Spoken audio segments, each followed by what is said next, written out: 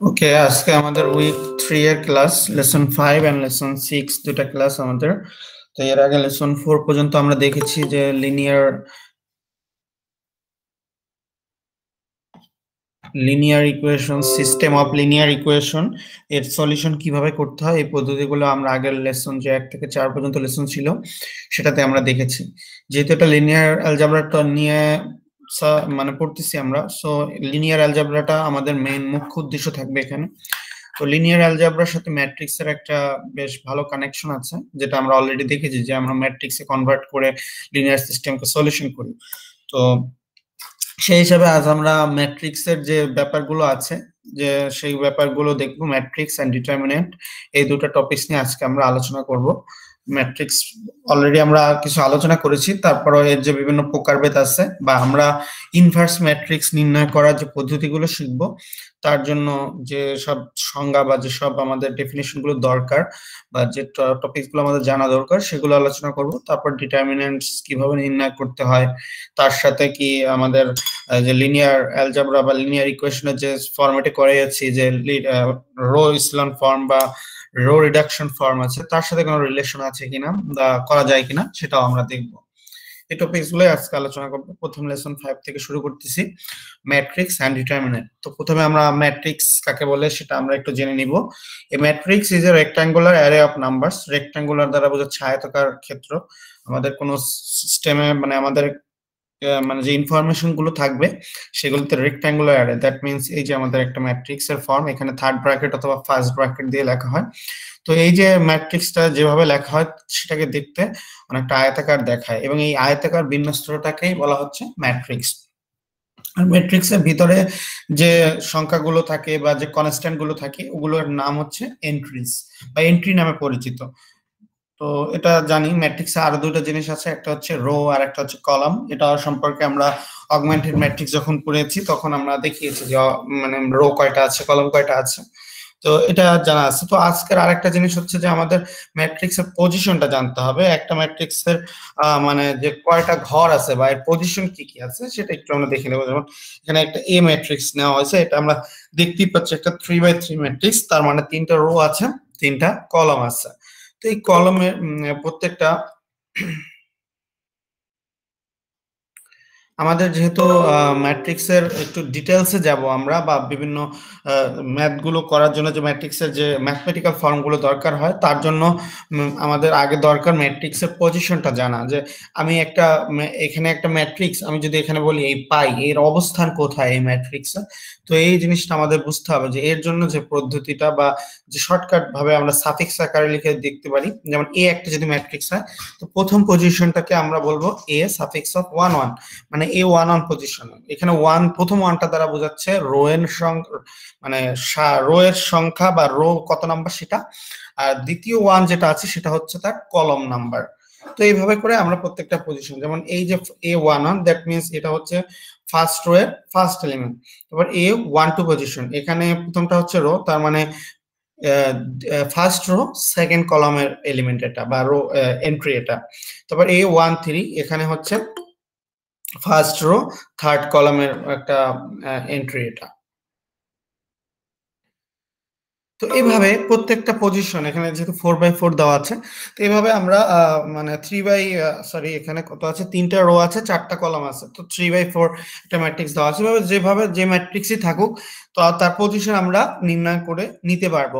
তো এটা গুণ করলে আমরা কয়টা এলে এন্ট্রি হবে সেটা পাই। যেমন থ্রি ক্রস ফোর এখানে মোটমাট আমরা টুয়েলভ বা বারোটা এন্ট্রি পাবো। দেখো, এখানে খেয়াল করে দেখো, এর মধ্যে বারোটা এন্ট্রি দেওয়া আছে। এইভাবে করে আমরা মানে ম্যাট্রিক্সের পজিশন নির্ণয় করতে পারি। তো, এভাবে এন সংখ্যক ম্যাট্রিক্স থাকতে পারে। এটা ছিল ম্যাট্রিক্স সম্পর্কে আলোচনা। তো, এখানে ডিফারেন্ট টাইপস অফ ম্যাট্রিক্স আমরা বিভিন্ন ম্যাট্রিক্সের বিভিন্ন টাইপ সম্পর্কে আমরা আলোচনা করব। ম্যাট্রিক্সের বিভিন্ন রকম যে টাইপস আছে, প্রথমে যেটা আমরা দেখব সেটা হচ্ছে square matrix and main diagonal matrix একটা ম্যাট্রিক্সকে স্কোয়ার ম্যাট্রিক্স কখন বলব? যখন দেখা যাবে তার রোয়ের সংখ্যা এবং কলমের সংখ্যা সমান হবে, তখন সেই ম্যাট্রিক্সটাকে বলা হবে স্কোয়ার ম্যাট্রিক্স তার মানে একটা যদি আমি থ্রি বাই থ্রি ম্যাট্রিক্স নিই অথবা ফোর বাই ফোর ম্যাট্রিক্স নিই, এখানে রোয়ের সংখ্যাও থ্রি এবং কলমের সংখ্যাও থ্রি অথবা পরেরটায় ফোর ফোর এভাবে যদি হয় রো এর সংখ্যা এবং কলমের সংখ্যা সেম থাকে, তাহলে ওই ম্যাট্রিক্সটাকে আমরা বলব স্কোয়ার ম্যাট্রিক্স আর স্কোয়ার ম্যাট্রিক্স এর মধ্যে একটা জিনিস থাকে মেইন ডায়াগোনাল বা ডায়াগোনাল ম্যাট্রিক্স যেটাকে বলা হয় মেইন ডায়াগোনাল ম্যাট্রিক্স তো এই যদি আমরা এটা খেয়াল করি, এখানে একটা স্কোয়ার ম্যাট্রিক্স আছে, তার মানে রো এর সংখ্যা কলমের সংখ্যা সমান হবে।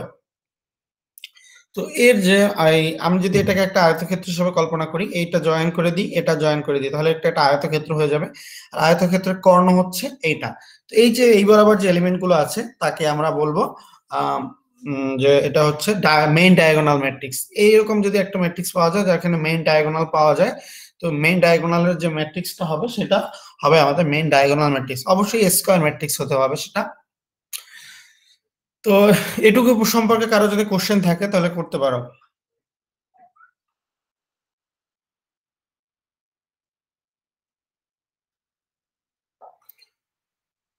আমার কথা কি শোনা যাচ্ছে? কেউ একজন রিপ্লাই করো যেহেতু অনেক সময় শোনা যায় না। শোনা যাচ্ছে। বরাবর পণ্য বরাবর আচ্ছা। যে মানগুলো হবে সেগুলো কি সমান হবে? না না না সমান হতে হবে না। সমান হওয়ার কোনো এখানে ফ্যাক্টর নাই। কর্ণ বরাবর এলিমেন্টগুলো নিলে যে ম্যাট্রিক্সটা হবে সেটা হচ্ছে আমাদের square matrix sorry main diagonal matrix তো এখানে আবার কর্ণ বরাবর যে এলিমেন্ট আছে সেগুলোর উপর ডিপেন্ড করে বিভিন্ন রকম ম্যাট্রিক্স আছে। আইডেন্টিটি ম্যাট্রিক্স আছে বা ডায়াগোনাল ম্যাট্রিক্স আছে আমি ওটা দেখাবো। হ্যাঁ বলো। জি স্যার ঠিক আছে। আচ্ছা ওকে এরপরে আমরা দেখি ম্যাট্রিক্স ফর্মে লিনিয়ার সিস্টেম তো আমরা এই জিনিসটা অলরেডি একটু দেখে আসছি যে matrix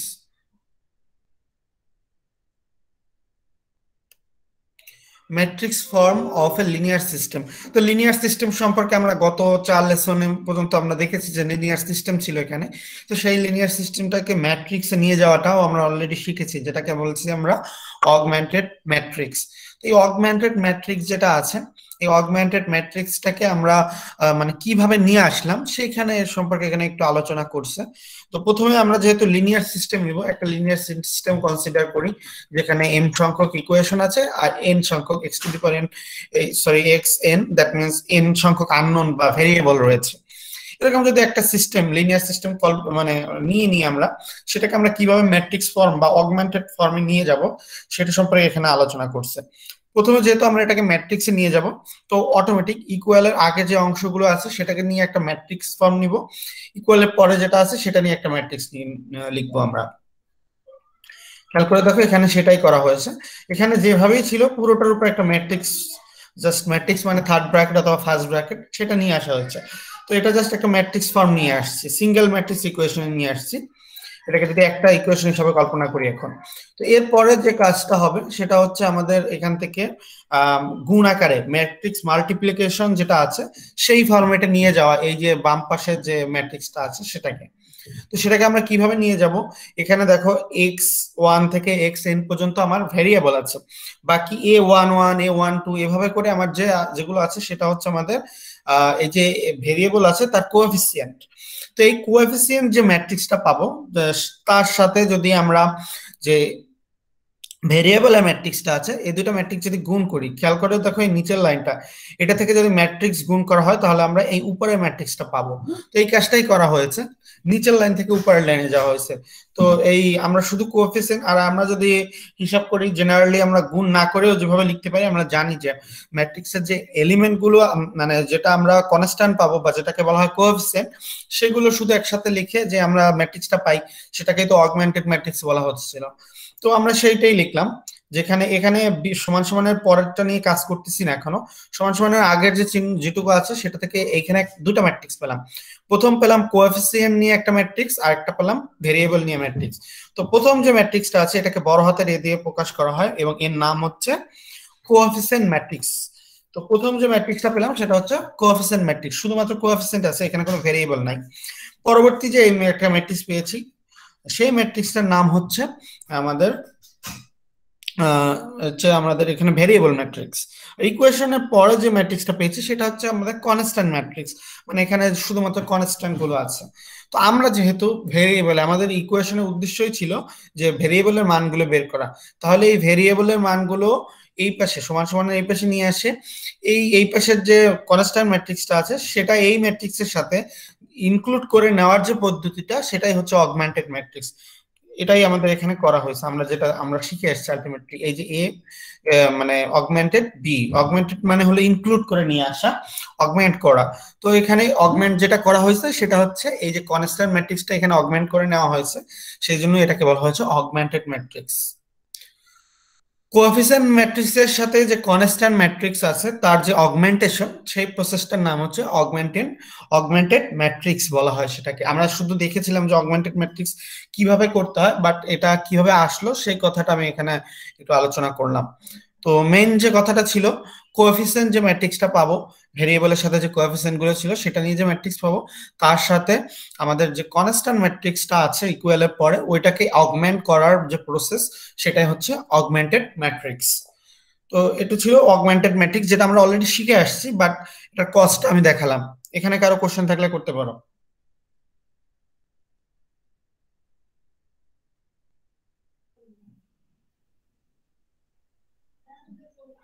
আচ্ছা। এরপরে আমরা যাচ্ছি। ট্রান্সপোজ ম্যাট্রিক্স, যেহেতু আমরা ম্যাট্রিক্সের বিভিন্ন টাইপস নিয়ে কাজ করতেছিলাম, এরপরে আমরা যে একটা ম্যাট্রিক্স শিখব, সেটার নাম হচ্ছে ট্রান্সপোজ ম্যাট্রিক্স। তো ট্রান্সপোজ ম্যাট্রিক্স যে জিনিসটা হলো, একে এ টি বা এই যে এ টি দ্বারা প্রকাশ করা হয়, তো এটা মানে হচ্ছে আমাদের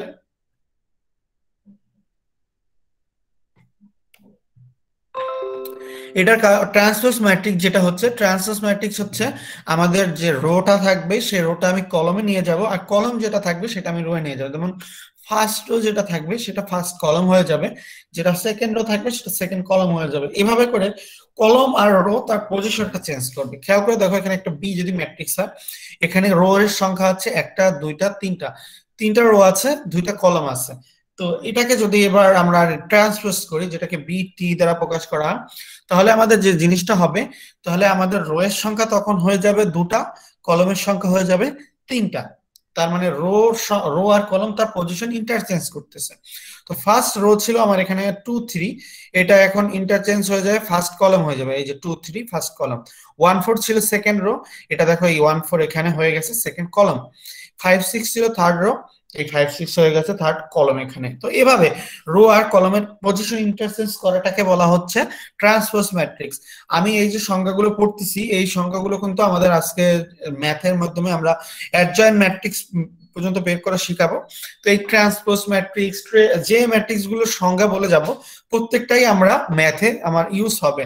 সো ওই জিনিসটা কিন্তু এখন থেকেই বুঝতে হবে যে ট্রান্সপোজ মানে হচ্ছে রো আর কলমকে ইন্টারচেঞ্জ করা। এই কথাটা মাথায় রাখতে হবে। যদি লিনিয়ার অ্যালজাবরা বা ম্যাট্রিক্স সম্পর্কে পড়ো, তাহলে এটা দরকার যে ট্রান্সপোজ মানে হচ্ছে রো আর কলমের ইন্টারচেঞ্জ তো এটাই যে ছিল। এরপরে যেটা আছে trace of a matrix trace হচ্ছে a if a is a square matrix, then the trace of a is denoted by tra তার মানে এখানে tra দ্বারা প্রকাশ করা হয় যদি a একটা ম্যাট্রিক্স হয়, এবং ম্যাট্রিক্সটা অবশ্যই স্কোয়ার ম্যাট্রিক্স হতে হবে। স্কোয়ার ম্যাট্রিক্স হচ্ছে রো এর সংখ্যা এবং কলমের সংখ্যা সমান হবে। তো is defined to be the sum of the entries of the main diagonal of A তার মানে হচ্ছে মেইন স্যার কেউ মনে হয় স্যার ক্লাসে জয়েন করতে চাচ্ছে। এখানে তো কেউ কে দেখতে পাচ্ছি না। তাকে আবার করতে বলো যেহেতু আমি যারা জয়েন করছে তাদের তো আমি এখানে দিয়েছি। আবার রিকোয়েস্ট দিতে বলো। ওকে স্যার ওকে আমি ম্যাথ চলে যাচ্ছি। Trace of a matrix trace মানে হচ্ছে sum of the entries of the main diagonal of A তো যে সাম মানে যোগফল entries of the main diagonal main diagonal আমি অলরেডি শিখিয়েছি যে, এই যে, এই যেটা যে একটা থ্রি বাই থ্রি ম্যাট্রিক্স আছে, এর মেইন ডায়াগোনাল পজিশন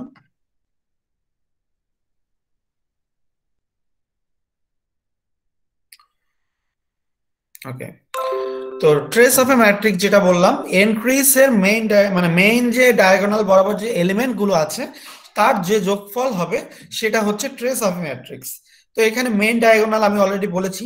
এই যে এটা যদি একটা আয়তক্ষেত্র হিসেবে কল্পনা করি, এই ম্যাট্রিক্সটাকে এর যে মেইন ডায়াগোনাল বরাবর এলিমেন্ট আছে, যেমন এখানে a one one a two two a three three এটা হচ্ছে মেইন ডায়াগোনাল মেইন ডায়াগোনাল বরাবর এলিমেন্টের যে যোগফল হবে, সেটাকে বলা হচ্ছে একটা ম্যাট্রিক্সের ট্রেস এবং ম্যাট্রিক্সটা অবশ্যই স্কোয়ার ম্যাট্রিক্স হতে হবে। আর স্কোয়ার ম্যাট্রিক্স মানে হচ্ছে যার রো এবং কলম সংখ্যা সমান হবে। তো যেহেতু একটা থ্রি বাই থ্রি ম্যাট্রিক্স নিয়ে কাজ করলাম এ এর ক্ষেত্রে তার ট্রেস তাহলে হলো a trace of A is equal to a one one plus a one two two plus a one sorry a three three এটা যোগফল। অথবা এখানে যদি বি একটা ম্যাট্রিক্স দেওয়া আছে, এখানে একটা ফোর বাই ফোর ম্যাট্রিক্স দেওয়া আছে, তার যে ই বরাবর মেন এলিমেন্টগুলো আছে মেইন ডায়াগোনাল যেমন minus one plus five plus seven plus zero এটা করলে যেটা আসবে, সেটা হবে তার বি ম্যাট্রিক্সটা ট্রেস তো আমি আবারও বলতেছি স্কোয়ার ম্যাট্রিক্স হচ্ছে রো এবং কলম সংখ্যা সমান হবে। ট্রান্সপোজ ম্যাট্রিক্স হচ্ছে রো এর জায়গায় কলম যাবে কলমের জায়গায় রো যাবে। তার মানে রো আর কলম তার পজিশন ইন্টারচেঞ্জ করবে। আর ট্রেস হচ্ছে মেইন ডায়াগোনাল বরাবর যে এলিমেন্ট আছে তার যোগফল। সো এরপরের যে ম্যাট্রিক্সটা যাব, সেটা হচ্ছে আইডেন্টিটি ম্যাট্রিক্স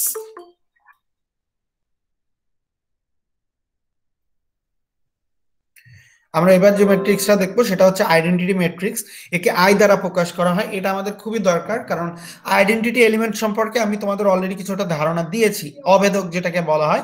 যেমন আমি যোগের অভেদকে বা যোগের আইডেন্টিটি যেটা বলো আইডেন্টিটি হচ্ছে কি? জিরো আর গুণ অথবা ভাগ এর আইডেন্টিটি হচ্ছে ওয়ান অলরেডি কিন্তু আমি এটা নিয়ে আলোচনা করেছি। তো ম্যাট্রিক্স এর ক্ষেত্রেও এরকম আইডেন্টিটি ম্যাট্রিক্স আছে, যেটা আমরা দেখব, সেটা সংখ্যাটা এখানে বলেছে। A square matrix identity matrix matrix হতে হলে তাকে অবশ্যই স্কোয়ার ম্যাট্রিক্স হতে হবে। A square matrix with ones on the main diagonal main diagonal বরাবর শুধু ওয়ান থাকবে। Zeros elsewhere is called an identity matrix তার মানে মেইন যে ডায়াগোনাল বরাবর একটা স্কোয়ার ম্যাট্রিক্সের যে মেইন ডায়াগোনাল থাকবে, সেই এলিমেন্টগুলো হবে ওয়ান বাকি যত পজিশন আছে, সেই সব পজিশনের এলিমেন্ট সরি মানে যে এন্ট্রি আছে, সেই এন্ট্রি গুলো হবে জিরো তো একটা ম্যাট্রিক্সের মেইন এলিমেন্ট থাকবে ওয়ান আর জিরো যেখানে ওয়ান থাকবে মেইন ডায়াগোনাল বরাবর, বাকি পজিশনে জিরো থাকবে। এটা হচ্ছে আইডেন্টিটি ম্যাট্রিক্স তো আইডেন্টিটি ম্যাট্রিক্স সম্পর্কে কারও কোনো কোশ্চেন আছে কিনা? না স্যার আমি আবারও বলতেছি a square matrix with ones on the main diagonal main diagonal বরাবর যে এলিমেন্ট থাকবে সেটা ওয়ান হবে, বাকি যত পজিশন আছে সেখানে জিরো হবে এবং সেটাকে বলা হবে আইডেন্টিটি ম্যাট্রিক্স আর ওয়ান দ্বারা ওয়ান কে বলা হয় গুণ অথবা ভাগের আইডেন্টিটি জিরো কে বলা হয় যোগ অথবা বিয়োগের আইডেন্টিটি সো আমরা তিনটে আইডেন্টিটি সম্পর্কে কিন্তু দেখেছি। প্রত্যেকটা জিনিসের আইডেন্টিটি জিনিসটা জানা দরকার। যেমন তোমরা স্টুডেন্ট তোমাদের আইডেন্টিটি তোমরা স্টুডেন্ট এই যে আইডেন্টিটি প্রত্যেকের একটা যে আইডেন্টিটি থাকে, সেই জিনিসটা মানে জানা দরকার। যেমন এখানে ম্যাথের ক্ষেত্রে এটা দেখতেছি, অন্যান্য সাবজেক্টে গেলেও প্রত্যেকটা কিছুতে এক একটা করে আইডেন্টিটি থাকে। তো এখানে আমরা আইডেন্টিটি ম্যাট্রিক্সকে যে নামটা দ্বারা প্রকাশ করব সেটা হচ্ছে আই তো আই আই এর সাথে সাফিক্স হিসাবে দেওয়া হয়, তার মানে যেহেতু স্কোয়ার ম্যাট্রিক্স যদি আই টু লেখা হয় সাফিক্সে তার মানে হবে এটা একটা two by two square matrix যেখানে ডায়াগোনাল বরাবর এলিমেন্টগুলো ওয়ান হবে, আর বাকি পজিশন গুলোতে জিরো হবে। যেমন এখানে খেয়াল করো, এখানে উদাহরণ দেওয়া হয়েছে বেশ কিছু। আই ওয়ান থেকে শুরু করে আই ফোর পর্যন্ত দেওয়া হয়েছে। আই ওয়ান তার মানে হচ্ছে শুধু একটা এলিমেন্ট থাকবে মানে ফার্স্ট একটা রো একটা কলম তো ওই রোটা হবে, ওই ওই ওই নাম্বারটা হবে ওয়ান তো এই যে প্রথম যেটা লেখা হয়েছে, সেটা হচ্ছে আই ওয়ান আই টু মানে হচ্ছে একটা টু বাই টু ম্যাট্রিক্স এখানে খেয়াল করে দেখো এখানে ওয়ান ওয়ান এই যে ডায়াগোনাল বরাবর এলিমেন্ট আছে ওয়ান ওয়ান বাকি পজিশনে জিরো আছে। পরেরটা হচ্ছে আই থ্রি খেয়াল করে দেখো মেইন ডায়াগোনাল এই, এর পজিশন গুলোতে ওয়ান আছে, বাকি সব পজিশনে জিরো আছে।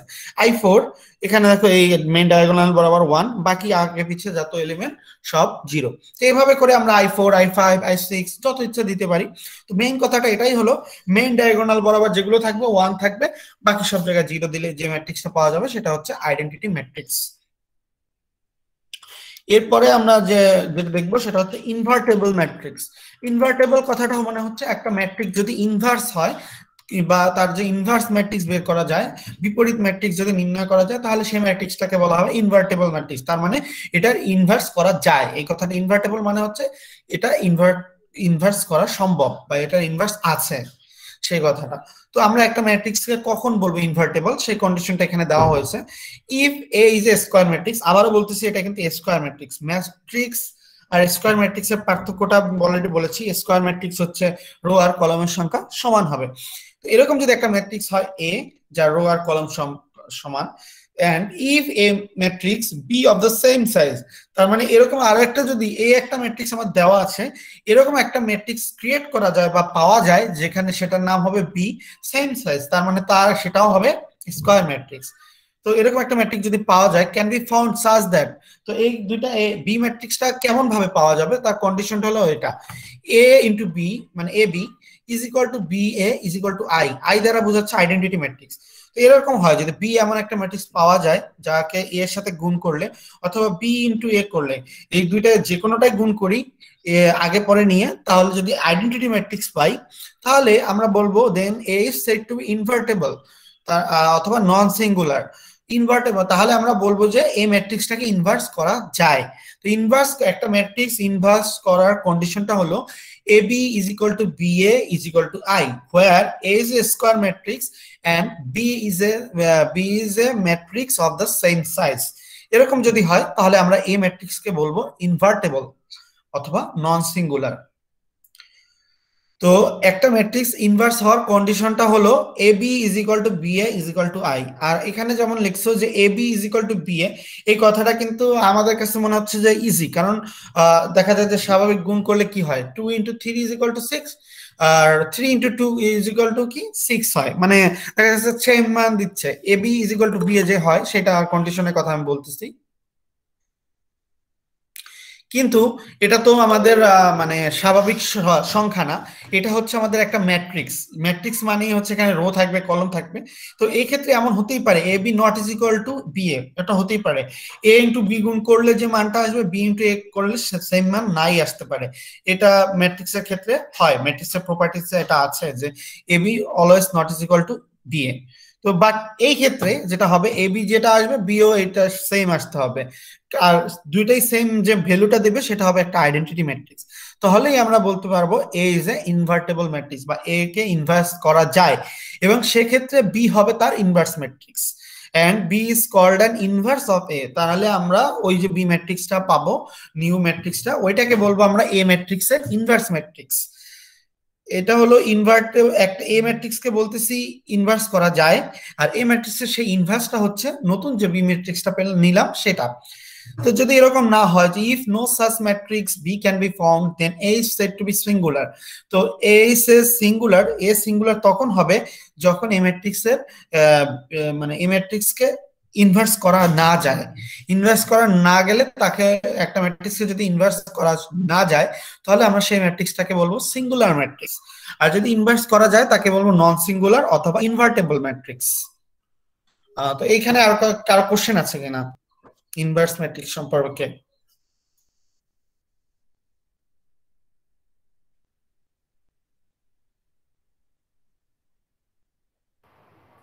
না স্যার নেই। আচ্ছা এরপরে যে ম্যাট্রিক্সটা দেখব, আমরা মেইনলি আজকের লেসন এবং তারপরের যে লেসনটা নেক্সট উইকে করব, এটা কিন্তু আমাদের ইনভার্স ম্যাট্রিক্স নিয়ে কাজ থাকবে। যে আমরা ইনভার্স ম্যাট্রিক্সকে জেনারেল একটা পদ্ধতি আছে, সেটাই করব। তারপর আমরা যে পদ্ধতি অলরেডি শিখে আসছি, আমরা তো রো এসিলন ফর্ম শিখে আসছি। সেই রো এসিলন ফর্ম করে কীভাবে আমরা ইনভার্স ম্যাট্রিক্স নির্ণয় করতে পারি, সেই জিনিসটাও দেখব। তো আমাদের মেন উদ্দেশ্য থাকবে স্বাভাবিকের সাথে ওই যে আমরা ই করে আসছি লিনিয়ার ইকুয়েশনের যে নিয়মগুলো শিখে আসছি, ওগুলোকে ইনক্লুড করা বা আমরা সিম্পলি দেখা যায় একটা থ্রি বাই থ্রি ম্যাট্রিক্সে ইনভার্স ম্যাট্রিক্স বের করতে পারি। কিন্তু যদি ফাইভ বাই ফাইভ ম্যাট্রিক্স থাকে সিক্স বাই সিক্স ম্যাট্রিক্স থাকে, তো সেই ক্ষেত্রে আমি বলেছি যে আমাদের যে পদ্ধতিগুলো আমরা শিখেছি, যেমন রো সিলন ফর্ম এগুলো আমরা অ্যাপ্লাই করে করব। তো এই জিনিসগুলো আমরা দেখব যে স্বাভাবিক নিয়মে করলে কীভাবে আমরা মেট্রিক্সের ইনভার্স করতে পারি? আর আমরা যে ওই পদ্ধতি শিখে আসছি রো এসিলন ফর্ম করলে সেটা আমরা কীভাবে করতে পারি? তো এই জিনিসগুলোর জন্য এই ডেফিনেশনগুলো আমাদের দরকার, আমি সেই হিসাবে তোমাদের কন্ডিশনগুলো বলে দিচ্ছি। এরপরে দেখতেছি diagonal matrix a square matrix in which all the entries off the main diagonal are zero called a diagonal matrix. তো আমরা দেখে আসছি যে আমরা আইডেন্টিটি ম্যাট্রিক্স যখন দেখেছি তখন কিন্তু বলা হয়েছে যে মানে মেইন ডায়াগোনালের যে এলিমেন্টগুলো থাকবে সেটাকে ফিক্সড করে দেওয়া হয়েছে সেটা থাকবে one ones of the main diagonal and others element are zero but এখানে যে কন্ডিশনটা দেওয়া হয়েছে স্কোয়ার ম্যাট্রিক্সে হবে all the entries of the main diagonal are zero মানে সেকেন্ড যে কন্ডিশনটা ছিল মেইন ডায়াগোনালের বাদের এলিমেন্টগুলো জিরো হবে, ওইটা ঠিক আছে। কিন্তু মেইন ডায়াগোনালের যে এলিমেন্ট আছে, সেটাকে ওয়ান হতে হবে ফিক্স করে দেওয়া নাই। তো এরকম যদি হয়, একটা ম্যাট্রিক্সের মেইন ডায়াগোনাল বাদে অন্য সকল এলিমেন্ট জিরো হয়। আর মেন ডায়াগোনাল এলিমেন্ট যে কোনো সংখ্যা হতে পারে। যেমন এখানে ওয়ান ওয়ান ওয়ান যে হবে, ওই যে তিনটা ওয়ান দিয়ে লেখা হয়েছে, এটা হলেও ডায়াগোনাল ম্যাট্রিক্স আমরা বলতে পারব। তার মানে identity matrix is a diagonal matrix but all diagonal matrix are not identity matrix যেমন এখানে একটা আইডেন্টিটি ম্যাট্রিক্স লেখা হয়েছে ওয়ান ওয়ান ওয়ান তার মানে মেইন ডায়াগোনালে কি আছে? শূন্য ব্যতীত বা শূন্য ছাড়া শূন্য হওয়ার কন্ডিশন নাই। মেইন ডায়াগোনালে এলিমেন্ট থাকবে, বাকি পজিশনে জিরো থাকবে। এখানে পরেরটা যেমন সিক্স ফোর এখানে একটা জিরো আছে, আবার এইট আছে। তো এরকম যদি হয়, তাহলে এইটাকে বলব আমরা ডায়াগোনাল ম্যাট্রিক্স ডায়াগোনাল ম্যাট্রিক্সে আমরা of the main diagonal main ডায়াগোনালের বাদে যা এলিমেন্ট আছে, সবগুলোকে আমরা বলব জিরো তো এটাকে বলা হচ্ছে ডায়াগোনাল ম্যাট্রিক্স যার সাথে কিন্তু আইডেন্টিটি ম্যাট্রিক্স এর একটা ক্লোজ রিলেশন আছে তো এরপরে যেটা দেখব আমরা triangular matrix a square matrix in which all the above all the entries above the main diagonal are zero is called a lower triangular matrix lower triangular matrix হচ্ছে main diagonal of the main all the entries above the main diagonal তার মানে main diagonal এর উপরের যে এলিমেন্টগুলো আছে main ডায়াগোনালের উপরের যে এলিমেন্টগুলো আছে, সেগুলো যদি জিরো হয়, তাহলে আমরা বলব সেই ম্যাট্রিক্সটাকে লোয়ার ট্রায়াঙ্গুলার খেয়াল করে দেখো এই এক্সাম্পলটা এই হচ্ছে main diagonal a one one a two two a three three a four four এর উপরের এলিমেন্টগুলো কি আছে? অ্যাভব দ্য মেইন ডায়াগোনাল এলিমেন্টগুলো জিরো আছে। নিচের এলিমেন্টগুলো যে কোনো কিছু থাকতে পারে। তাহলে এই ম্যাট্রিক্সটাকে বলব লোয়ার ট্রায়াঙ্গুলার ম্যাট্রিক্স তো লোয়ার ট্রায়াঙ্গুলার আছে, নিচে আমাদের এলিমেন্ট থাকবে। আর আপার ট্রায়াঙ্গুলার ম্যাট্রিক্স যেটা হচ্ছে above the main diagonal main ডায়াগোনালের উপরে এলিমেন্টগুলো থাকবে মেইন ডায়াগোনালের নিচে জিরো হবে। তো সেটাই বলা হয়েছে যে মেইন ডায়াগোনালের নিচে যদি জিরো হয়, তাহলে সেটাকে বলব আপার ট্রায়াঙ্গুলার মেইন ডায়াগোনালের উপরের এলিমেন্টগুলো যদি জিরো হয়, সেটাকে বলব লোয়ার ট্রায়াঙ্গুলার ম্যাট্রিক্স আর আইদার লোয়ার আর আপার যেটা হোক, এটা তাহলে আমরা বলব ট্রায়াঙ্গুলার ম্যাট্রিক্স তো ট্রায়াঙ্গুলার ম্যাট্রিক্স বললে এটা লোয়ারও ট্রায়াঙ্গুলারও হতে পারে আপার ট্রায়াঙ্গুলারও হতে পারে। বাট লোয়ার বললে মেইন ডায়াগোনাল উপরের এলিমেন্টগুলো জিরো হবে আর এটা হলে নিচের এলিমেন্টগুলো জিরো হবে। ওকে এটা আমাদের ফার্স্ট লেসন ছিল। এখানে কারও কোনো সমস্যা আছে কিনা? যদি থাকে, বলো।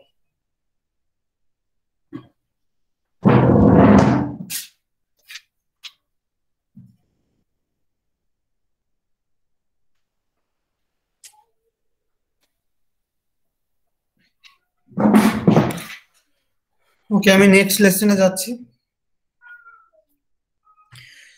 উইক থ্রি লেসন সিক্স যেটা আছে, এটা দেখব আমরা আমরা যেহেতু প্রথম ক্লাসে বলেছি, প্রথমটা ছিল ম্যাট্রিক্স আর ডিটারমিনেন্টস তো ম্যাট্রিক্স সম্পর্কে আমরা আলোচনা করেছি। এবার আমরা ডিটারমিনেন্টস সম্পর্কে একটু আলোচনা করব। লেসন সিক্স যেটা আছে, এটা হচ্ছে প্রপার্টিস অফ ডিটারমিনেন্টস তো ডিটারমিনেন্স কীভাবে নির্ণয় করতে হয়, কাকে বলে, এই জিনিসগুলো দেখব। এরপরে তার সাথে সাথে আমরা অ্যাডজয়েন্ট ম্যাট্রিক্স পর্যন্ত আমরা যাব সামনে ম্যাট্রিক্সও এখানে রিলেটেড থাকবে। তো ডিটারমিনেন্টস হচ্ছে আমরা ম্যাট্রিক্সের ডিটারমিনেন্টস হয়, ম্যাট্রিক্সের সাধারণত মান নেই, ম্যাট্রিক্সের মান নাই, কিন্তু ডিটারমিনেন্টস এর মান আছে, এটাই হচ্ছে পার্থক্য। একটা ম্যাট্রিক্স যদি থাকে, সেই ম্যাট্রিক্সের ডিটারমিনেন্ট হচ্ছে তার মানকে নির্ণয় করা, ম্যাট্রিক্সের মান নির্ণয়ের নাম হচ্ছে ডিটারমিনেন্টস এবং আরেকটা জিনিস খেয়াল রাখতে হবে, ম্যাট্রিক্সকে থার্ড ব্র্যাকেট অথবা ফার্স্ট ব্র্যাকেট দিয়ে লেখা হয়। আর ডিটারমিনেন্টের সাইনটা হচ্ছে যে মডুলাস যে সাইনটা আছে সেটা অনেকে দেখা যায় যে ডিটারমিনেন্টস এর সাইন আর ম্যাট্রিক্স এর সাইন একভাবে করে দেয়। মানে ম্যাট্রিক্স এর সাইনটা ডিটারমিনেন্টস এর মতো দিয়ে দেয়। এটা লেখা কিন্তু ঠিক হবে না। কারণ এটা একটা মারাত্মক ভুল। কারণ একটা জিনিসের থার্ড ব্র্যাকেট দ্বারা বোঝাচ্ছে মান নির্ণয় করা যায় না। আর এই চিহ্নটা দ্বারা বোঝাচ্ছে এটা মান নির্ণয়ের জন্য করা হয়। তো আমরা যেটা মেইন কথা, সেটা হচ্ছে ডিটারমিনেন্টস এর মান নির্ণয় করা যায় ম্যাট্রিক্স এর মান নির্ণয় করা যায় না। এবং ডিটারমিনেন্টস অবশ্যই ম্যাট্রিক্স এর হবে। তো একটা ম্যাট্রিক্স দিলে তার যদি ডিটারমিনেন্ট নির্ণয় করতে বলা হয়, তাহলে তাকে পরবর্তীতে এই যে ডেট এ দ্বারা প্রকাশ করা হয় ডেটে লিখলে আমাদের কি লিখব? এই সাইনটা তখন মানে ম্যাট্রিক্সের মতো থাকবে না, তখন কিন্তু এই যে মডুলার সাইন হয়ে যাবে। এবং একটা টু বাই টু ম্যাট্রিক্সের ডিটারমিনেন্টের জন্য যে জেনারেল সূত্র আমরা এই যে গুণ করে আর আর গুণ করে লিখতে হয় AD minus BC AD minus BC এই ফর্মুলাটা আমাদের মনে রাখতে হবে যে ডিটারমিনেন্ট নির্ণয় করার জন্য, যে এইটা দিয়ে A into D minus B into C এভাবে গুণ করে লিখতে হয়। এটা হচ্ছে একটা টু বাই টু ম্যাট্রিক্সের ডিটারমিনেন্ট নির্ণয় করার জিনিস। তো আশা করি এটুক সম্পর্কে কারও কোশ্চেন থাকার কথা না, কারণ যেহেতু তোমরা অলরেডি ডিটারমিনেন্টস ম্যাট্রিক্স সম্পর্কে ইন্টারমিডিয়েট লেভেলে বেশ কিছু পড়াশোনা করেছ, আর সো এটা তোমরা জেনে আসছো, তো এটা সমস্যা নাই। এখানে আমরা দেখব যে আরও কিছু আছে কিনা। মাইনরস কোফ্যাক্টর এটা সম্পর্কে একটু দেখি।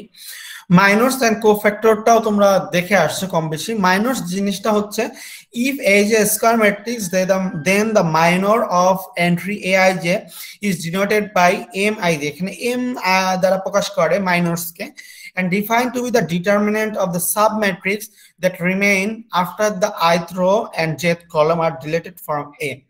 তো এটা আমরা বুঝতে পারতেছি মাইনর মানে হচ্ছে একটা মানে সাব ম্যাট্রিক্স একটা ম্যাট্রিক্সের সাব ম্যাট্রিক্স তার ডিটারমিনেন্ট নির্ণয় করতে হবে, এবং এই সাব ম্যাট্রিক্সটা আমরা কীভাবে গঠন করব যে পজিশনে মাইনরস নির্ণয় করতে বলা হবে, সেই রো এবং সেই কলমটা বাদ দিয়ে। আমি প্রথমেই বলেছি, যখন ম্যাট্রিক্স সম্পর্কে আলোচনা করছিলাম, তখন বলেছি যে মানে ম্যাট্রিক্সের তো ম্যাট্রিক্সের একটা থ্রি বাই থ্রি ম্যাট্রিক্স হয় বা ফোর বাই ফোর ম্যাট্রিক্স হয়। তো এই ম্যাট্রিক্সের একটা পজিশন আছে।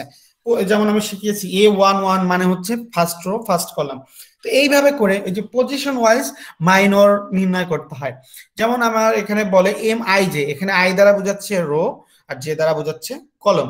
তো আমি যদি বলি যে এই একটা ম্যাট্রিক্স এ তো এর এম ওয়ান ওয়ান নির্ণয় করো। তাহলে এম ওয়ান ওয়ান মানে হচ্ছে মাইনর নির্ণয় করতে বলছে এবং মাইনরের পজিশনটা কি হবে? ওয়ান ওয়ান প্রথম রো প্রথম কলম। তার মানে ফার্স্ট এলিমেন্ট যেটা আছে, সেই পজিশনের মাইনর নির্ণয় করতেছি। তো খেয়াল করে দেখো, এখানে একটা ম্যাট্রিক্স এ দেওয়া আছে। এই একটা থ্রি বাই থ্রি ম্যাট্রিক্স তাহলে এম ওয়ান ওয়ান বা a minor of entry A one one that means M one one এটা যদি নির্ণয় করতে বলা হয়, তার মানে প্রথম পজিশনের জন্য মাইনর নির্ণয় করতেছি। তো আমরা তাহলে সাব ম্যাট্রিক্সটা বানাতে হবে। সাব ম্যাট্রিক্সটা নির্ণায়ক নির্ণয় করব বা ডিটারমিনেন্ট নির্ণয় করব। তো এখানে বলা হয়েছে submatrix that remains after the I throw and jth column are deleted তো এখানে যেটা বলা হয়েছে যে পজিশনের জন্য আমরা মাইনর নির্ণয় করতেছি। সেই রো এবং কলামটা বাদ দিয়ে যে ম্যাট্রিক্সটা হবে, সেইটাই হচ্ছে নতুন। সেটা নির্ণয় নির্ণয় করতে হবে। তাহলে এম ওয়ান ওয়ান তার মানে ফার্স্ট রো ফার্স্ট কলম বাদ যাবে। তো দেখো এই যে ফার্স্ট রো আর এই ফার্স্ট কলম বাদ। বাদ দিয়ে যে নতুন সাব ম্যাট্রিক্সটা হয়েছে তার নির্ণায়ক।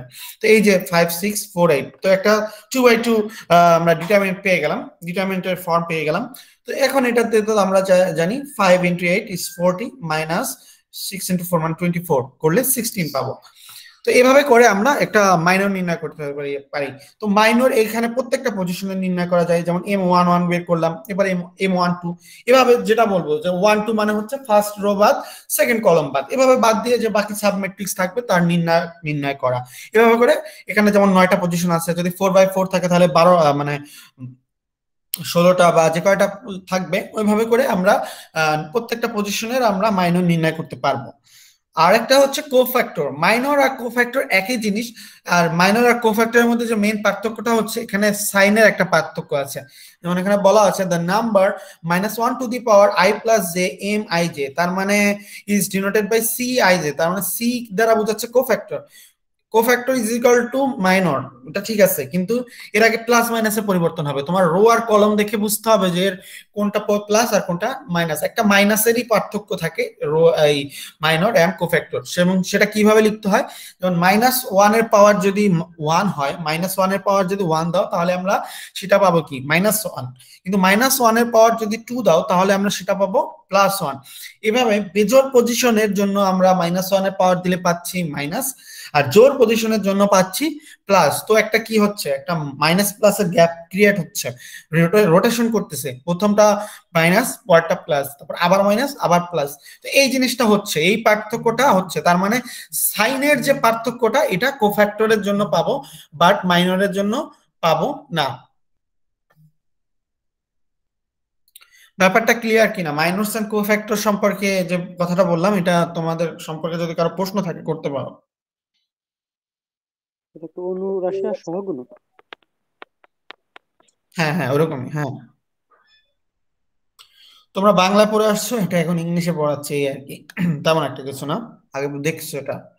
তো এখানে কোফ্যাক্টর নির্ণয় করা হয়েছে যেটা সি ওয়ান ওয়ান তার মানে প্রথম পজিশনে আছে। তো এখানে দেখো মাইনাস ওয়ানের পাওয়ার দেওয়া হয়েছে ওয়ান প্লাস ওয়ান তার মানে minus one square is equal to plus one তো এখানে C one one is equal to M one one আসছে। কিন্তু সি বা এই যেমন এ থ্রি টু এর জন্য যদি আমরা করি, তাহলে দেখো এখানে পরিবর্তন থ্রি টু মানে হচ্ছে সি থ্রি টু যদি নির্ণয় করো মানে থার্ড রো সেকেন্ড কলাম এটা বাদ দিয়ে এখানে মাইনর নির্ণয় করা হয়েছে। তো এরপরে মাইনাস ওয়ানের power three plus two that means minus ওয়ানের পাওয়ার ফাইভ ফাইভ একটা বেজোর সংখ্যা, অবশ্যই এটা মাইনাস থাকবে। তো দেখো C two two sorry C three two is equal to minus M three two আসছে। তো এই যে মাইনাসের যে পার্থক্যটা, এটাই হচ্ছে মাইনর আর কোফ্যাক্টরের মধ্যে মেইন পার্থক্য। তো এইটুকু ক্লিয়ার কিনা? যে মাইনরস আর কোফ্যাক্টর এই যে কোফ্যাক্টর এটা আমাদের দরকার, সামনে আমরা অ্যাডজয়েন্ট ম্যাট্রিক্স নির্ণয় করব, তখন আমাদের এই কোফ্যাক্টর ম্যাট্রিক্সটা নির্ণয় করতে হবে। কারও কোনো কোশ্চেন থাকলে মাইনর আর কোফ্যাক্টর সম্পর্কে করতে পারো।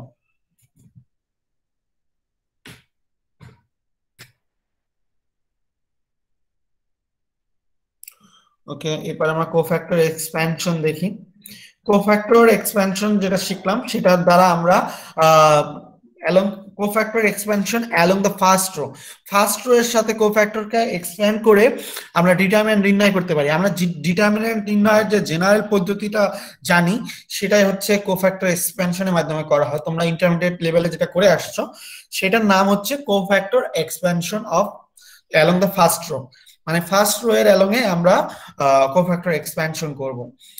তো দেখি আমরা একটা এক্সাম্পল দিয়ে যে কীভাবে আমরা ডিটারমিনেন্ট নির্ণয় করতে পারি।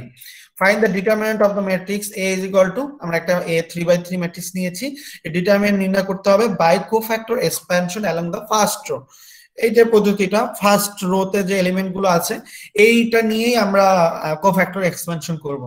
তো ডেট এ তার মানে ম্যাট্রিক্স থেকে এখন আমরা এই যে সাইনটা দিতে হবে কিন্তু। ডেট এ লিখলে কিন্তু আর থার্ড ব্র্যাকেট দেওয়া যাবে না। মডুলার সাইন দিতে হবে। তো যেহেতু along the first row along এ আমরা কোফ্যাক্টর এক্সপানশন করব, তো ফার্স্ট রো এর ফার্স্ট এলিমেন্ট আছে এ ওয়ান অন পজিশনে আছে থ্রি তো থ্রি দিলাম। তো এরপর এর সাথে গুণ দিতে হবে, আমাদের যে সাব ম্যাট্রিক্সটা পাবো, এটা বাদ দিলে। কোফ্যাক্টর এক্সপানশন করতে হবে।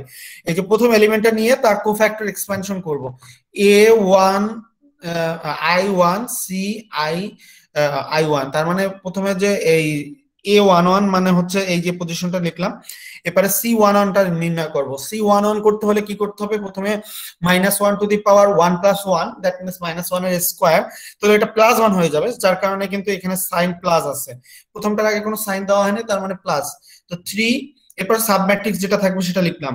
তারপরের যে এলিমেন্টটা আছে এ ওয়ান টু পজিশনে আছে ওয়ান এটা ওয়ান লিখলাম। তার আগে যে মাইনাসটা হয়েছে এই মাইনাসটা হওয়ার কারণ হচ্ছে যে কোফ্যাক্টর এক্সপ্যানশন তো মাইনাস ওয়ানের পাওয়ার মানে ওয়ান টু পজিশনে minus one to the power one plus two is equal to কি হয়? Minus one to the power three যেটা একটা বেজোর সংখ্যা বেজোর পাওয়ার তাহলে আমরা পাবো মাইনাস ওয়ান সেই কারণে আমরা এখানে এই যে মাইনাসটা দিয়েছি। তো মাইনাস ওয়ান তারপরে আমরা সাব ম্যাট্রিক্সটা নিয়েছি। ফার্স্ট রো সেকেন্ড কলম বাদ দিয়ে আমরা যে ম্যাট্রিক্সটা পেয়েছি তার নির্ণায়ক এখানে। প্লাস জিরো তার মানে এ ওয়ান থ্রি পজিশনে আছে। ওয়ান থ্রি মানে হচ্ছে ফার্স্ট রো থার্ড কলম বাদ যাবে। এবং এখানে মাইনাস ওয়ানের পাওয়ার যদি করো one plus three is equal to minus one to the power four এটা একটা জোর সংখ্যা। তাহলে আমাদের এই সাইনটা প্লাস থাকবে। প্লাস জিরো ইন্টু এরপরে সাবম্যাট্রিক্স যেটা লেখা হয়েছে। তারপর আমরা এই যে ম্যাট্রিক্স আমরা তো ডিটারমিনেট নির্ণয় করতেই জানি টু বাই টু এর জন্য। তো সেটা করলে যেটা আসবে, সেটা এই হয়ে যাবে মাইনাস ওয়ান অ্যান্সার এভাবে করে আমরা ডিটারমিনেন্টের মান নির্ণয় করতে পারি। এবং এই যে পদ্ধতিটা, এটা হচ্ছে cofactor expansion along the first row এটা তোমরা অলরেডি করেছ বা এটা তোমরা অলরেডি দেখেছ ইন্টারমিডিয়েট লেভেলে কারও কোশ্চেন থাকলে করতে পারো।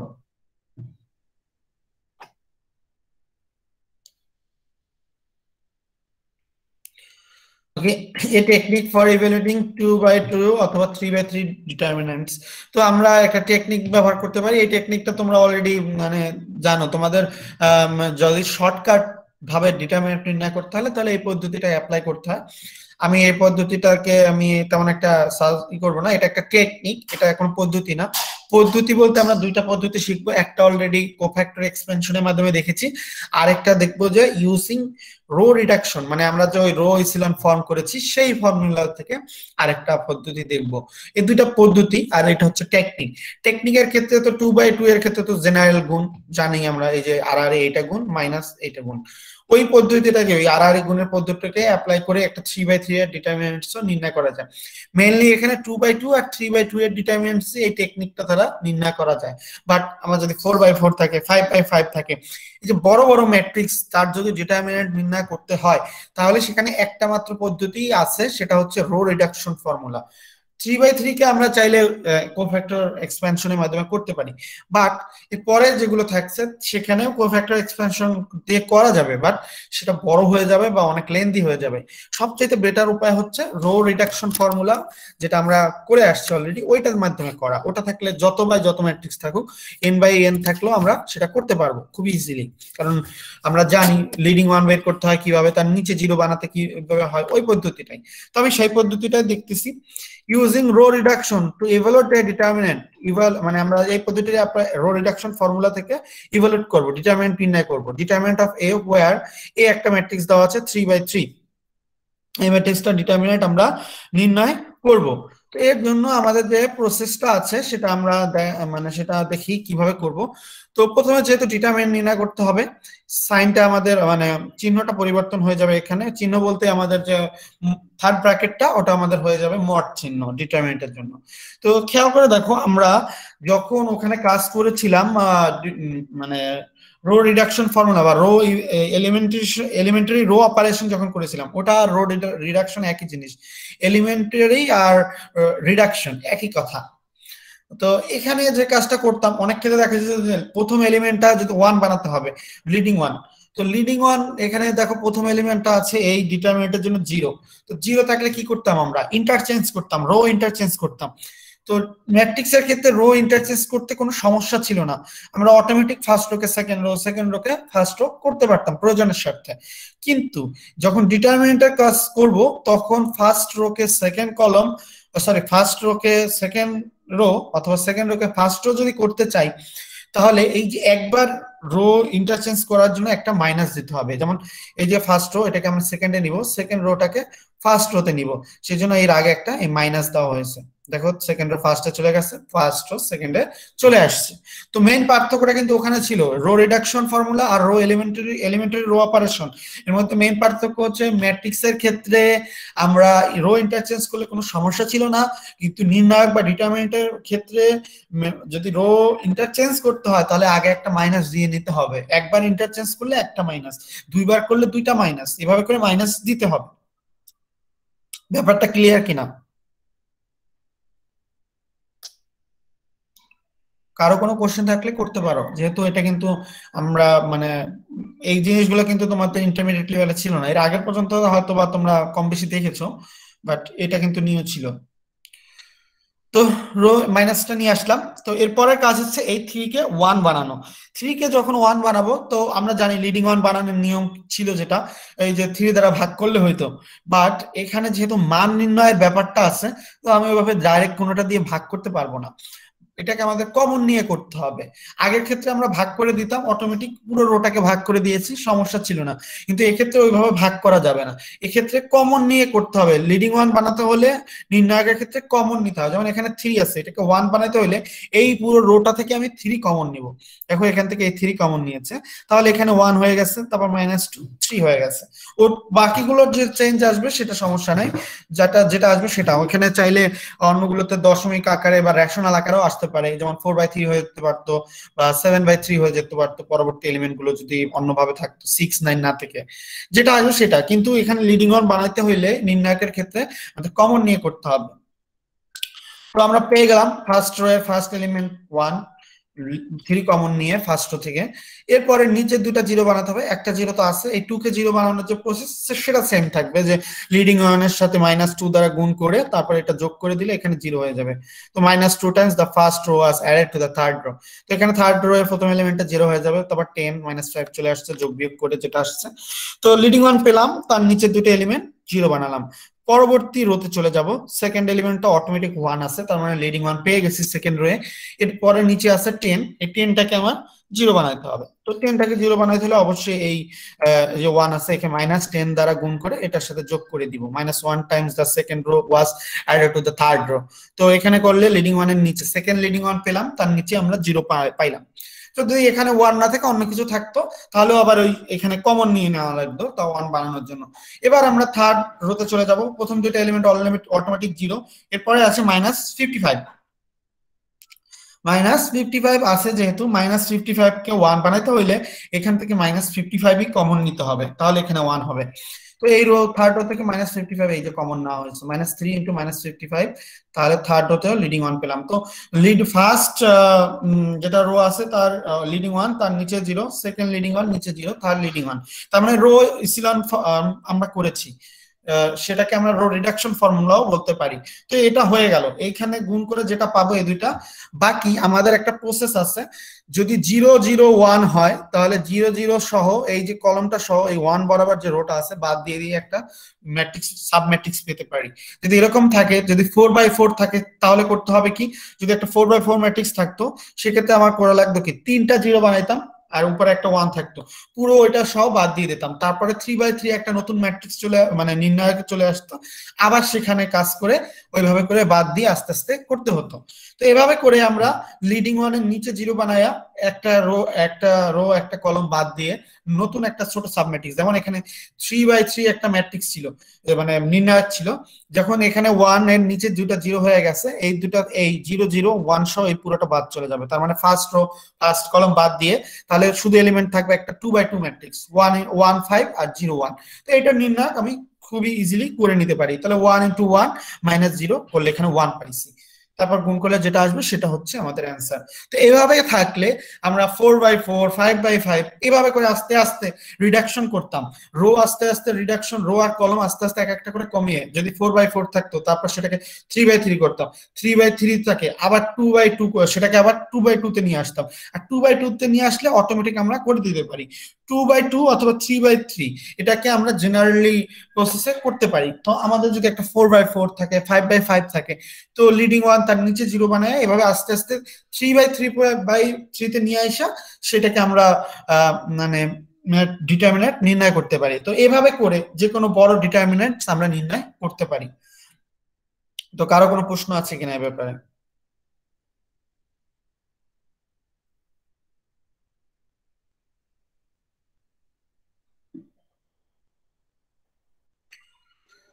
যাই হোক আচ্ছা এখানে এরপরে ইভালুয়েট ডিটারমিনেন্ট অফ এ এই যে একটা ম্যাট্রিক্স দেওয়া আছে, দেখো এখানে একটা ফোর বাই ফোর ম্যাট্রিক্স আছে। তো এইভাবে ওইটাকেও তোমরা নিজেদের, আমি তোমাদের মানে দিব আজকে একটা অ্যাসাইনমেন্ট যেহেতু তোমাদের ইউনিভার্সিটি চোদ্দ তারিখ পর্যন্ত অলরেডি তো বন্ধই সো আরেকটা অ্যাসাইনমেন্ট আমরা দিব। এরপরে যদি খুলে, তাহলে আমাদের যে অ্যাসাইনমেন্ট গুলোই দেওয়া হচ্ছে, যদি ইউনিভার্সিটি থেকে বলে যে থার্টি মার্কসের মানে রিটেন পরীক্ষা হবে, যদি ইউনিভার্সিটি চোদ্দ তারিখ এবার খুলে যদি সেরকম বলে, তাহলে আমরা যে এই অ্যাসাইনমেন্টগুলো দিচ্ছি অ্যাসাইনমেন্ট টু আর অ্যাসাইনমেন্ট থ্রি যেটা দিব, ওইটাই ফাইনাল পরীক্ষায় আমি আবার দিয়ে দেবো। যেহেতু তোমাদের এখান থেকে আমি ইভুলেশন করব, ওটা শুধুমাত্র তোমাদের ওই, ওইটার জন্য মানে দেখানোর জন্য যেটা করা দরকার, সেটা আমরা করব। বাট যদি ইউনিভার্সিটি না খুলে আরেকবার বন্ধ হয়ে যায়, তাহলে তো আমাদের এইগুলোই আমরা ডাইরেক্ট কাউন্ট করে নিব। বা ডাইরেক্ট কাউন্ট আমি এখনই করতেছি বাট যদি কোনো কারণে রিটার্ন পরীক্ষা নিতে হয়, যেমন এটা একটা তো দোদুল্যমান অবস্থা, আমি তো বলতে পারি না যে খুলবে কিনা, তোমরাও বলতে পারো না। যদি কোনো কারণে খুলে যায় বা খুলতে যদি খোলা যায়, তাহলে আমাদের রিটার্ন পরীক্ষা যদি বলে ইউনিভার্সিটি থেকে যে, না এত তারিখ থেকে রিটার্ন পরীক্ষা হবে, তাহলে আমি আগেই বলে দিচ্ছি, আমি যে অ্যাসাইনমেন্ট গুলো দিচ্ছি, এই অ্যাসাইনমেন্টগুলো থেকেই আমি রিটার্ন পরীক্ষাটা নিব। আর প্রথম দুটো যে অ্যাসাইনমেন্ট ছিল এ ওয়ান আর এ সরি ওয়ান আর টু যে বি ছিল যেটা, দুইটা মানে আমি অ্যাসাইনমেন্ট নিয়েছি। পাঁচ মার্ক করে যে টেন মার্কস আমার হাতে যে অ্যাসাইনমেন্টের মার্কটা আছে, ওটা আমি হিসাবে কাউন্ট করে নিব।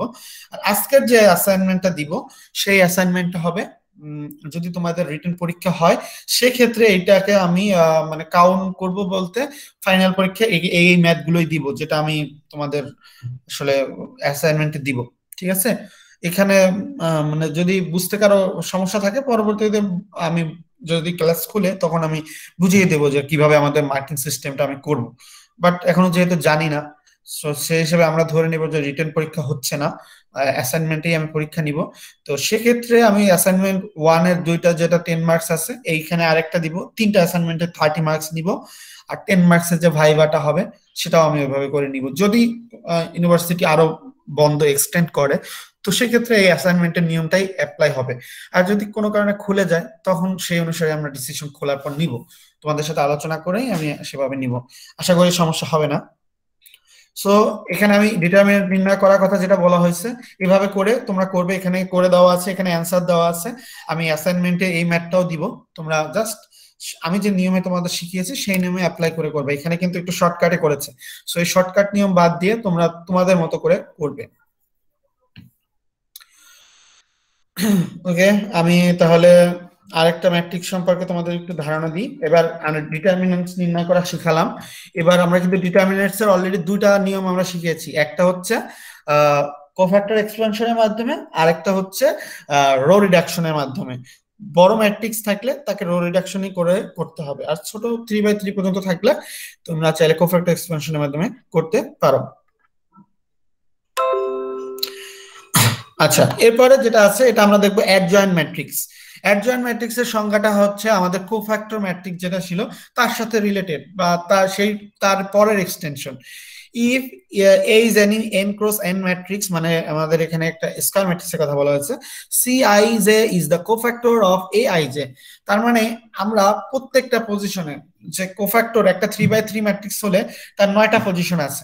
নয়টা পজিশনের জন্য নয়টা কোফ্যাক্টর পাবো। এই নয়টা কোফ্যাক্টরকে যদি তার নির্দিষ্ট পজিশনে বসাই দেওয়া যে নতুন একটা ম্যাট্রিক্স হয়, সেই ম্যাট্রিক্সটাকে বলব আমরা কোফ্যাক্টর ম্যাট্রিক্স যেমন এখানে খেয়াল করে দেখো সি ওয়ান ওয়ান এই সি ওয়ানটা ওয়ান ওয়ানটা একটা এ ম্যাট্রিক্স থাকবে।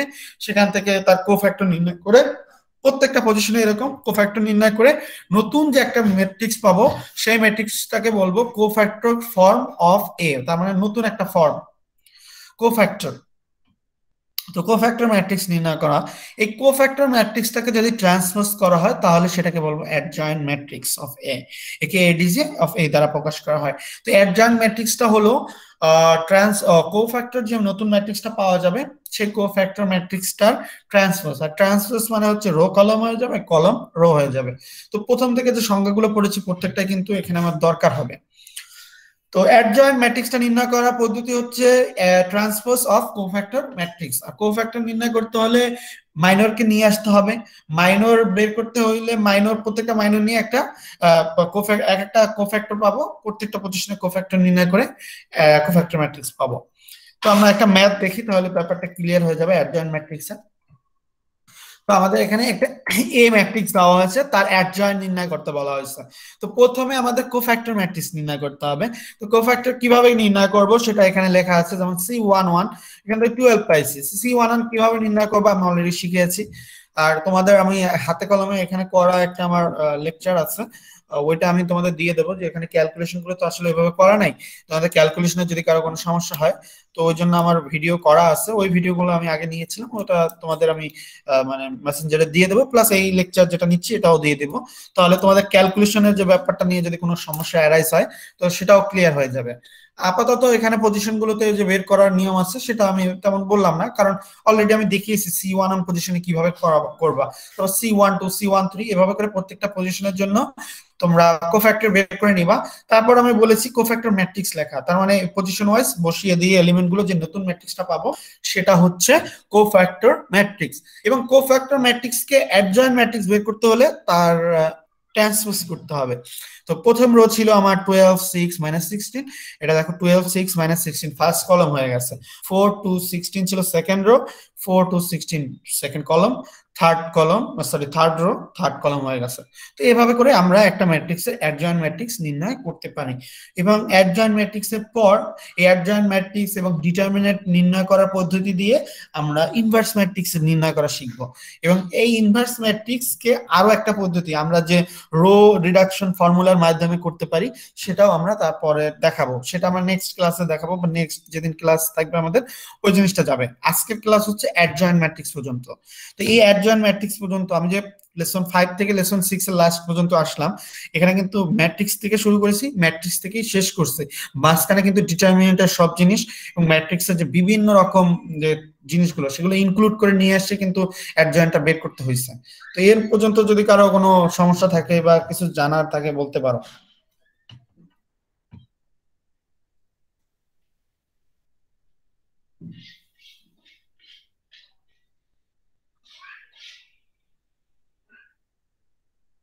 স্যার কোফ্যাক্টর ম্যাট্রিক্স কি মানে থ্রি বাই থ্রি আর ফোর বাই ফোর এ হবে খালি মানে ইয়া অড নাম্বারে হবে না নেই না অড তো হবে না, কারণ হচ্ছে বলাই হয়েছে যে এখানে স্কোয়ার ব্যাপারটা আছে ক্ষেত্রে স্কোয়ার ম্যাট্রিক্স হতে হবে।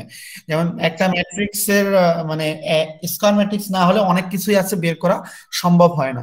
কন্ডিশনে বলা থাকবে যে এটা স্কোয়ার ম্যাট্রিক্স হতে হবে। ডেফিনেশনে কিন্তু আমি বারবার উল্লেখ করেছি, কোনটা স্কোয়ার হতে হবে, কোনটা স্কোয়ার ছাড়া হবে। বেশ কিছু ছিল স্কোয়ার ছাড়াও হয়েছে বাট অনেকগুলোতেই আছে স্কোয়ার ম্যাট্রিক্স হতে হবে, বলাই আছে। এ স্কোয়ার ম্যাট্রিক্স তারপরে বলা আছে। ঠিক আছে? ওটা খেয়াল রাখতে হবে। বুঝছি। ওকে এই পর্যন্তই আজকের লেসন এবং তোমাদের অ্যাসাইনমেন্ট টু এখান থেকে আসবে। বেশ কিছু তোমাদের অ্যাডজয়েন্ট বের করা তারপর কোফ্যাক্টর এক্সপানশনের মাধ্যমে ডিটারমিনেন্ট নির্ণয় করা এই জিনিসগুলো আমি দিব ম্যাথে তোমাদের অ্যাসাইনমেন্ট এখানে টেন মার্কস এর একটা দিব আজকের ক্লাসে অ্যাসাইনমেন্ট টু যেটা হবে। সো সবাই সেটার জন্য প্রিপারেশন নাও। ডেট দেওয়া থাকবে ওই মধ্যে দিয়ে দিবে তোমরা গুগল ক্লাসরুমে আর এটুকুই আজকের ক্লাস আইডি গুলো দিয়ে দাও সবাই। আর অ্যাসাইনমেন্টের ভিতর যদি কারও কোনো সমস্যা হয়, তাহলে আমাকে মেসেঞ্জারে নক করো। আর না হলে পরবর্তী ক্লাসে বলে দিও যে, স্যার, এটা সমস্যা হচ্ছে, গত ক্লাসে বুঝি নাই। সেটাও আমি দেখাবো, সমস্যা নেই।